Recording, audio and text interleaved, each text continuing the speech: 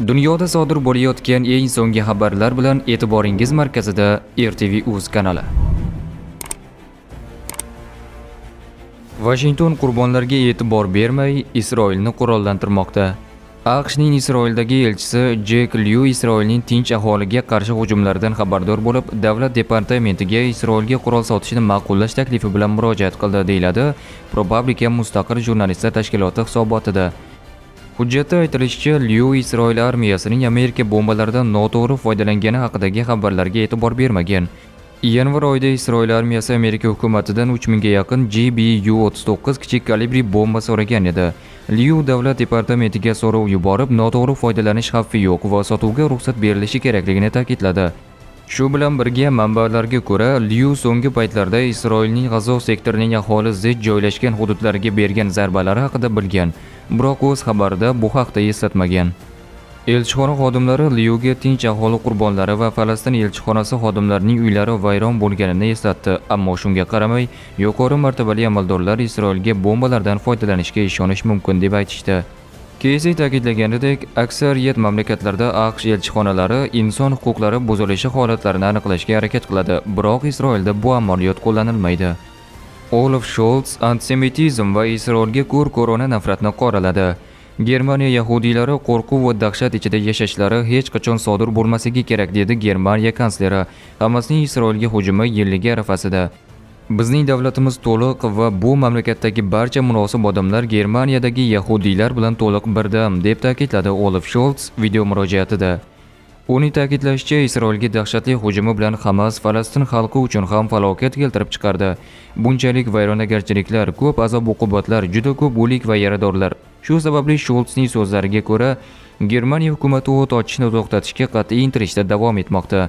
Nihoyat bu G'azo sektorining tinch aholisi yaxshiroq himoyalanishi va albatta yaxshiroq ta'minlanishi uchun kelish kerak va isroillik garovga olinganlar nihoyat ozod etilishi uchun ta'kidladi kansler. Scholzning ishonchi komilki, mustahkam tinchlik ikki davlat tamoyiliga muvofiq diplomatik kelishuvga erishishning haqiqiy yo'lini talab qiladi. Germaniya buni osonlashtirish uchun barcha sa'y-harakatlarni qiladi, deb ishontirdi federal kansler. Yamanliklar Isroilning Eronga tahdidlaridan so'ng Dimona yadroviy inshootini suratini e'lon qilib, shunday izoh berdi: "Biz ikkilanmaymiz." Shimoliy Koreya yetakchisi Kim Chen In artilleriya bo'linmalarining harbiy bazasiga tashrif buyurdi. Eron qo'mondonligi Tehron Isroil bilan to'qnashuvga uchragan taqdirda bir qancha harakatlar rejalarini ishlab chiqdi. Kontra-admiral Tangsiri Iroq harbiy dengiz kuchlari qo'mondoni Uning aytishicha, Isroil bosh vaziri Benyamin Netanyahu olov bilan o'ynashyapti va bu borada Eron harbiylari bir qator mashg'ulotlar o'tkazdi. Shuningdek, Eron qurolli kuchlaridagi manbaning tasnim agentligiga aytishicha, Eron harbiylari Isroilning ehtimoliy harakatlariga to'liq tayyor. Shu bilan birga Eronning javob berish shakllari va uning qarshi hujumlari Isroil tomonining nima qilishi bilan bog'liq bo'ladi.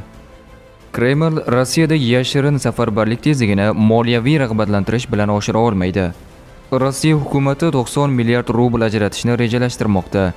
2025 va 27 yillarda Rossiya Mudofaa vazirligi bilan shartnoma imzolaganlarga bir martalik to'lovlar uchun Bunday to'lov miqdori hozir 400 ming rublni tashkil etishini hisobga olsak, Kreml yaqin 2 yil ichida Ukrainadagi urushni davom ettirish uchun 225 ming kontrakt askarini yollashni kutmoqda, deyiladi Amerika urushni o'rganish instituti yangi hisobotda.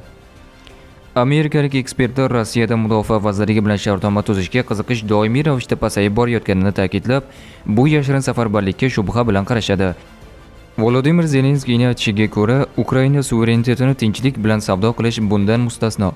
Ukrainada tinchlik faqat xalqaro huquq asosida va suverenitet yoki hududlar savdosiz kafolatlanishi mumkin, dedi Ukraina prezidenti 5-oktyabr kuni kechki video murojaatida.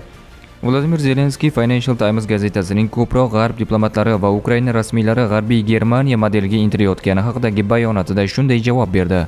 Financial Times materialida ta'kidlaganidek, ushbu model Ukraina NATOga a'zolik va alyansdan xavfsizlik kafolatlarini oladi deb taxmin qiladi, ammo ular faqat Kiyev nazorati ostidagi hududlarga taalluqlidir.